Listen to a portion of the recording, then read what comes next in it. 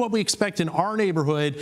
Tomorrow will be basically dry until dark. Then we'll see a little bit of light snow and probably a little sleet during the evening that will mix with and change to freezing rain in the metro area overnight into Monday morning. So it's important not to get caught up in amounts or potential amounts of snow and sleet, but realize that the Im impact will be significant to travel conditions during the day on Monday in the morning. Again, later in the afternoon, we'll change over to some rain, I think, in the metro area Monday morning and point south, but it will stay a wintry mix as you go north from around Ashland up to Fredericksburg and back west to Louisa and Charlottesville. Later in the day and in the evening, there'll be another chance for a round of snow as colder air takes over once again after a little warmer air works its way in to cause that mixture. There could be another inch or two on the backside of the storm Monday evening. Now, we're talking about this little nose of warmer air coming in, and it's a thin layer of warm air to begin with. When that happens, snowflakes melt